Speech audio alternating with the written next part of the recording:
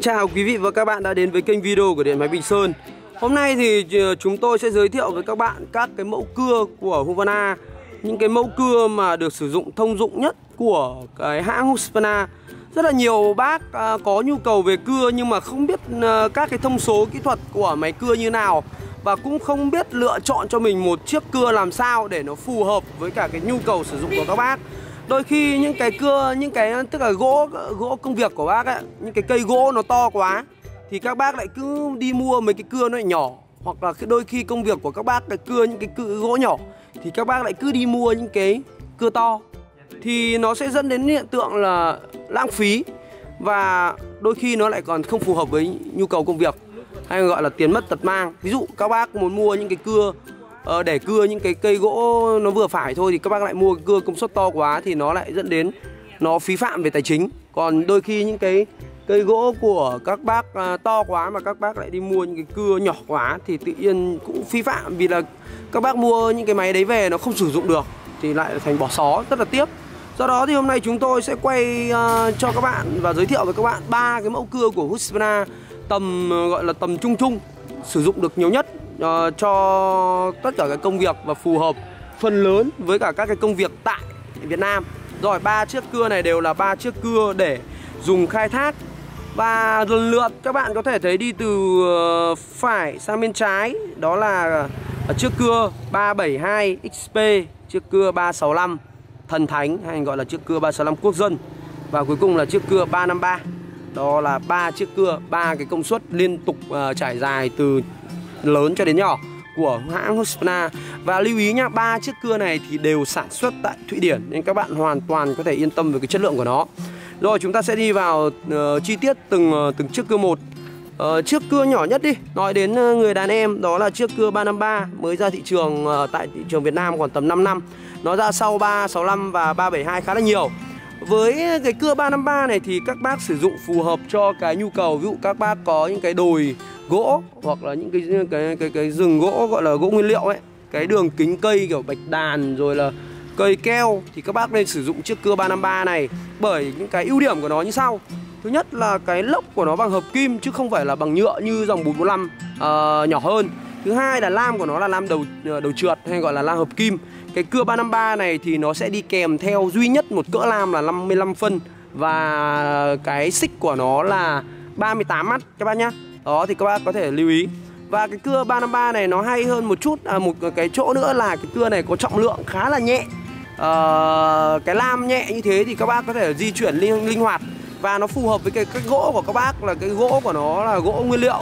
Thì đường kính gốc nó chỉ loanh quanh ờ, uh, 30 phân thôi. Nên là các bác sử dụng cưa này rất là phù hợp. Nên sử dụng cưa 353 và cái cưa này thì các bác uh, bây giờ nó cũng rất là hay ở chỗ là đồ đạc thay thế của nó nó có đồ tàu để thay tức là sao? Ví dụ như các bác hỏng những cái chi tiết nó không quá quan trọng như hơi điện chế thì các bác có thể sử dụng uh, cái uh, linh kiện Trung Quốc để các bác uh, gọi là nhỉ? Giảm thiểu cái chi phí sau sửa chữa bảo hành. Vì là đồ hãng khi mà động vào một chi tiết nào đồ hãng thì đều cực kỳ đắt. Đó thì đây là cái cưa 353 thì các bác có thể tìm hiểu. Cái cưa này thì ờ, công suất của nó sẽ đường kính piston của nó rơi vào tầm 46 ly. Nó sẽ nhỏ hơn cưa 365 tầm 2 ly. Đó là một trong những cái cưa khá là hay. Rồi à, đó là cưa 33 và chúng ta sẽ đi sang cái cưa 365 365 thì chúng ta không cần phải nói nhiều rồi quá thần thánh. Chiếc này nó ra đời tại uh, tại thị trường Việt Nam nó lên đến cả hai chục năm rồi.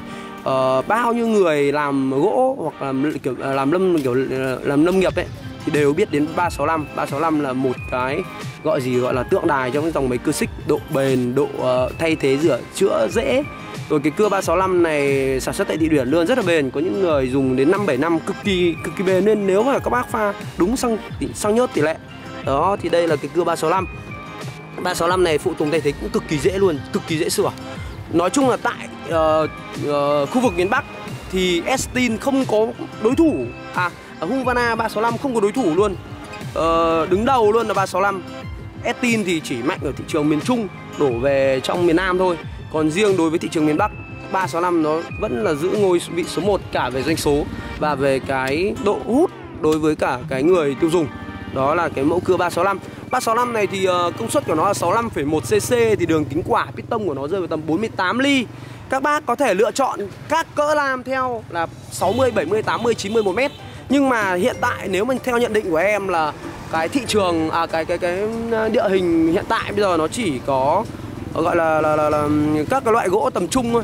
À, các bác có thể dùng đi rừng ờ, không phải cắt gỗ nguyên liệu thì 365 rất là hay. Hoặc một số bác thích bền không thích 353 à, các bác có thể dùng những cái cưa 365 này công suất lớn hơn một xíu thì các bác dùng theo lam 60 nó đảm bảo cực kỳ bền. Còn ờ, một số các bác vùng cao hơn thì các bác hay dùng theo lam 80 hoặc lam 90 nhưng mà khuyến cáo các bác không nên dùng 365 theo lam 1 mét để xẻ các bác nhá. Thì nó cũng cũng không bền đâu. Rồi đây là 365 à, ờ, cái cưa này chúng ta cũng không quá tốn nhiều nước bọt để nói đến nó nữa, bởi vì nó là một cái gì đó khá là tượng đài rồi. Sau đây là chiếc cưa 372 372 thì công suất lớn hơn 365 các bạn nhé 372 thì các bạn có thể nhìn thấy ngoại hình luôn, giống gần như là 100% so với cả 365 luôn.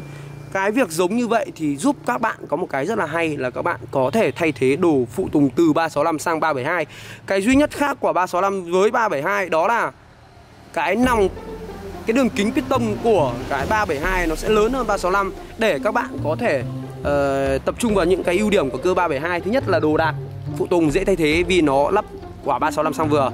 Và cái thứ hai là công suất của nó lớn hơn 365 để các bác nào thích 365 tức là thích sửa chữa dễ dàng như 365 nhưng phải khỏe hơn 365 thì 372 đó là một cái lựa chọn quá là ok. Vì nếu các bạn lựa chọn 576 hoặc 390 thì hình dáng nó khác. Thì các bạn khi mà thay thế sửa chữa uh, nó sẽ rất đắt vì nó không có đồ đồ đồ đồ phụ tùng lô. Còn đồ 372 nó có phụ tùng lô. Đấy thì các bác có thể sử dụng chiếc 372 372 nếu tôi nhớ không nhầm thì nòng piston của nó rơi vào tầm 51 ly nó ngang 570 và cái dung tích của nó tôi xem nhớ mang máng chính xác luôn là khoảng tầm 71 71 cc thì với cái 372 này các bạn có thể dùng xẻ gỗ. Được rồi hoặc là dùng theo những cái lam 1 mét. Đó thì các bạn có thể uh, lựa chọn. Ờ, các bạn lưu ý nhá những cái dòng máy cưa chính hãng này thì tại điện máy Bình Sơn chúng tôi bán là chúng tôi là nhà phân phối cấp 1 của hãng luôn nên các bạn hoàn toàn có thể yên tâm. Cam kết các bạn khi mua hàng tại điện máy Bình Sơn chúng tôi cam kết với các bạn là hàng chính hãng 100% nếu phát hiện ra bất kỳ một chi tiết nào hàng giả hàng nhái chúng tôi sẽ ngay lập tức đền 10 lần tiền cho các bạn. Đó là những cái gì chúng tôi cam kết sau khi các bạn mua hàng tại điện máy Bình Sơn. Ờ, cái mẫu 372 thì các bạn có thể thấy được đây nó có cái tem. À, cái chiếc tem này nó thể hiện những cái thông số kỹ thuật.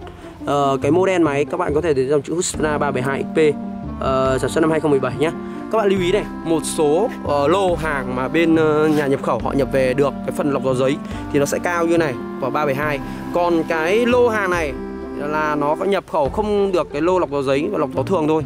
Đây là tùy lô nên là nhiều khi các bạn có thể mua được vào những cái lô mà lọc gió giấy nó sẽ cao như thế này thì các bạn lại bảo là cái dòng máy chúng tôi đang quay cho các bạn là giả nhái thì các bạn lưu ý nhá. Không bao giờ chúng tôi bán hàng các bạn có thể liên hệ ngay trực tiếp với những cái đơn vị nhập khẩu. Các bạn sẽ hỏi thắc mắc về những cái đó xem chúng tôi giải thích cho bạn như thế có đúng hay không. Thì các bạn hoàn toàn có thể xác định nhận được thông tin nhá. Đây là những cái chia sẻ của chúng tôi của những người đã bán hàng đã những người đã bán rất nhiều loại máy uh, bằng những cái kinh nghiệm thực tế những cái kinh nghiệm bán hàng để tư vấn cho các bạn có thể lựa chọn được cho mình một chiếc cưa phù hợp nhất với nhu cầu công nghiệp.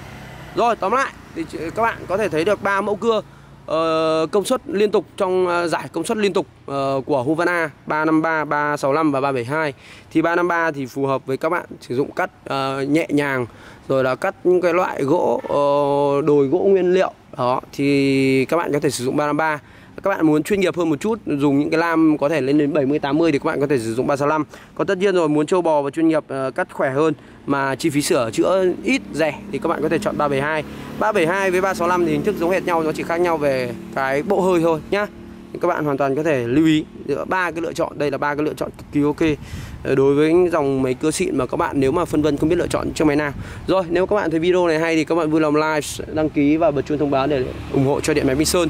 Ờ, chúng tôi hứa sẽ đưa ra những cái ờ, video chất lượng nhất hay nhất ờ, để hướng dẫn mọi người mọi khách hàng có thể lựa chọn cho mình được những chiếc máy phù hợp với nhu cầu công việc với cái uh, việc tối ưu hóa cái tài chính của các bạn. Không uh, nó làm sao cho nó hợp lý nhất. Rồi cảm ơn các bạn quan tâm và theo dõi. Xin chào và hẹn gặp lại các bạn ở những video sau. Nhớ like subscribe và share đăng ký bật chuông thông báo để liên tục cập nhật những video mới nhất nhé rồi xin chào và hẹn gặp lại. Vui lòng nhấn nút subscribe hoặc đăng ký để theo dõi kênh nhấn chuông để nhận thông báo khi có video mới.